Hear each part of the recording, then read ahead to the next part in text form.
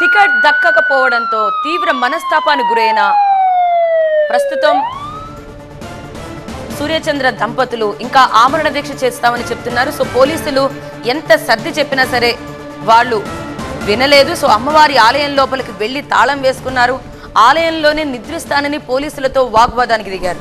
So ticket దక్కకపోవడంతో మనస్తాపంతో సూర్యచంద్ర ఆమరణ దీక్ష సమయంలో ఒక్కసారిగా నెలకొన్న హై టెన్షన్ వాతావరణం మీకు చూపిస్తున్నాం. రాత్రంతా ఒక టెన్షన్ వాతావరణం. పోలీసులు ఆలయం లోపలికి వెళ్ళే ప్రయత్నం చేశారు కానీ వారు మాత్రం ఎంతసేపటికి వినలేదు.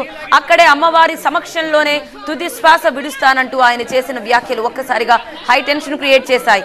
ఎస్ ఆ తర్వాత వెంటనే పోలీసులు రంగప్రవేశం చేశారు కానీ పోలీసులతో జనసేన కార్యకర్తలు వాగ్వాదానికి దిగారు. తమ నేతకు ఏమైనా అయితే అందుకు బాధ్యులు పోలీసులైతే అంటూ వారిపై ఆగ్రహం వ్యక్తం చేశారు. రైట్ సైడ్ విజువల్స్లో మీరు చూడొచ్చు. గర్భగుడిలో అక్కడే ఆమరణ దీక్ష దిగిన సూర్యచంద్ర కనిపిస్తున్నారు. సూర్యచంద్రతో పాటు సతీమణి కూడా అక్కడే ఉన్నారు.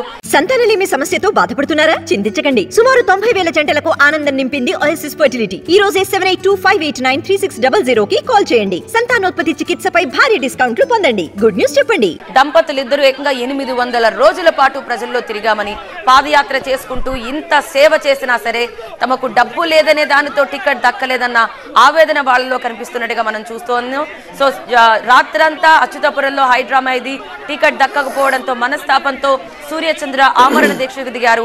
ఆలయంలోనే నిద్రిస్తానంటూ పోలీసులతో వాగ్వాదానికి దిగారు. పోలీసులు సర్ది చెప్పినా సూర్యచంద్ర వినలేదు.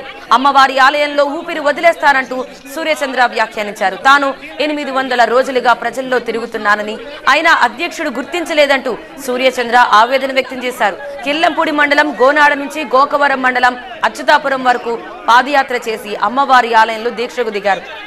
తనలా రబ్బర్ చెప్పులు వేసుకునే వారు అసెంబ్లీకి వెళ్ళడానికి అర్హులు కాదా అంటూ ప్రశ్నించారు. డబ్బు లేకుంటే టికెట్ ఆశించడం పొరపాట అని అడుగుతున్నారు. తనకు టికెట్ దక్కలేదన్న ఆవేదన ఉన్న పార్టీ మాత్రం మారబోనని చెప్తున్నారు సూర్యచంద్ర.